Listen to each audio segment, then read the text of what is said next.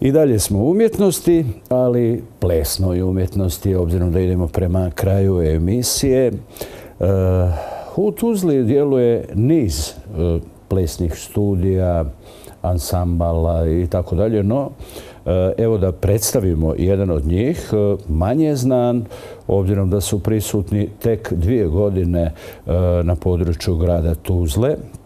Riječ je e, o plesnom studiju Burlon Dance, a tim povodom sa nama je Melisa Abadžić. Lijep pozdrav, Melisa. Lijep pozdrav i vama i vašim gledalcima. Mala ispravka, danas ipak Grebović. Da, da, izvinjavam se. Nikakav problem. E, evo ovako, pa ja sam samo dobio ovo prezime. Da, da, da. E sad, plesni studio Burlon Dance, e, rekao smo, funkcioniše tek dvije godine. Šta vam je za te dvije godine ušlo u vaš portfelj? Evo, dvije godine smo tu u Tuzli um, i nudimo našim sugrađanima razne plesne aktivnosti. Um, evo, možda da krenem od samog naziva koji je možda malo neobičan. Da. I zovemo se Burlone Dance Production. E, Burlone je inače italijanska riječ i u prevodu znači vrtuljak. A to nas je asociralo na naše plesne okrete, pa odatle i sam taj naziv.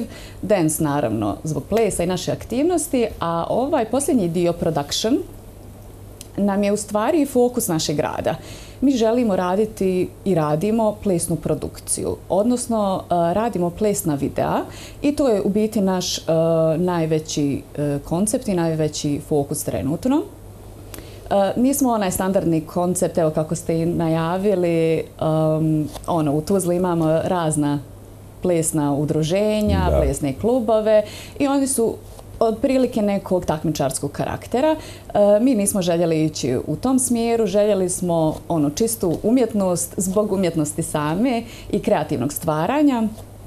Tako da evo e, radimo plesna videa, dijelimo to na našim društvenim mrežama, e, imamo Instagram profil, Facebook profil, YouTube kanal i tu se pretežno i pojavljujemo. Naravno imali smo i nekih i revijalnih nastupa, saradnji sa nekim festivalima, također smo sudjelovali u nekim muzičkim spotovima sa plesnim koreografijama ili kao statisti, pa čak evo i scenarij za video spotove što ja lično i radim i tako. Dosta je u te dvije godine stalo. Sad, eto, rekli ste zapravo konkretno na koji način funkcionišete. A zašto, recimo, pravite otklon od omasovljenja svega toga u vašem klubu? Koliko vas ima? E, nije da pravimo otklon, ali e, evo, možda nismo dovoljno poradili na promociji, ja bih rekla, pa smo, ovaj, eto, to nam je možda neka zadaća za u buduće i neki sljedeći korak. Nama je stalo do kvaliteta, ne do kvantiteta i ovo je u biti zbog nas sami, hajmo reći i rekreativno i po nekoj slobodnoj volji. Tako da do sada su nam se članovi uglavnom pridruživali, ako čuju od nekoga, ako nam se neko pridruži, ima neko lijepo iskustvo.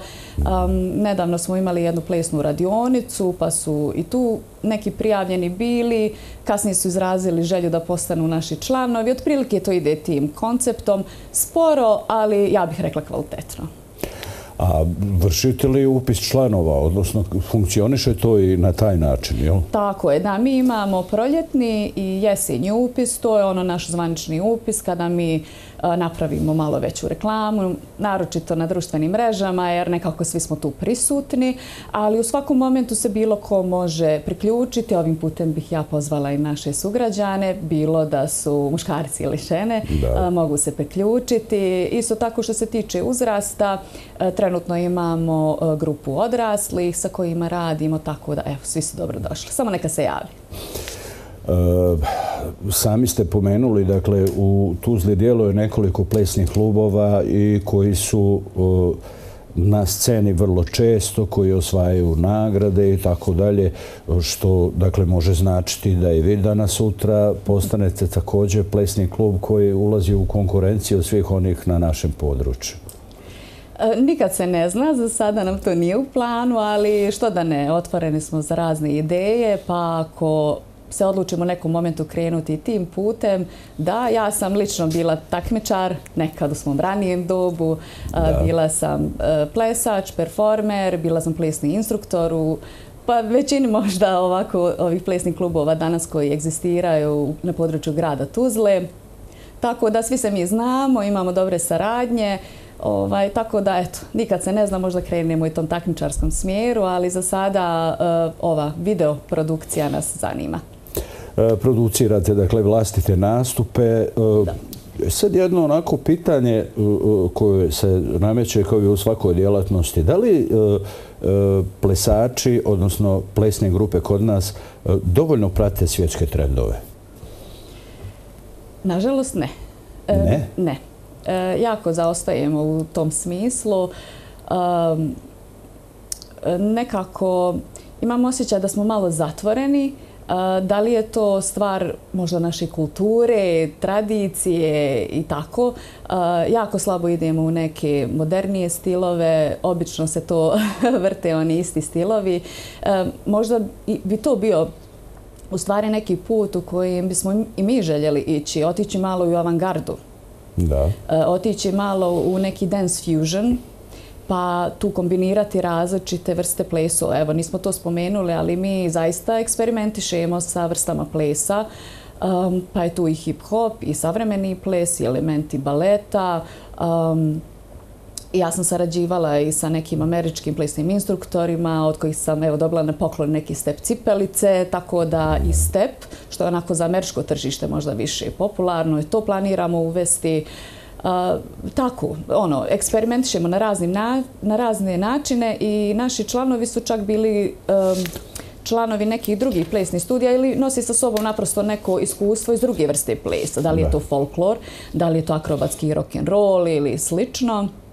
Tako da i oni donesu svoje ideje. U stvari je to mjesto gdje mi zajednički sudjelujemo zajednički stvaramo. Nisam ja, dakle, kao plesni instruktor, neko ko dođe i nametne neku ideju. Da, jesam neko ko kanališe, ali želim dati prostor svima da se tu kreativno izrazi.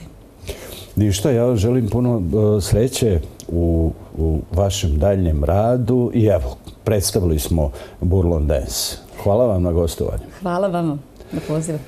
Dakle, sa nama je bila Melisa iz plesnog studija Burlon Dance.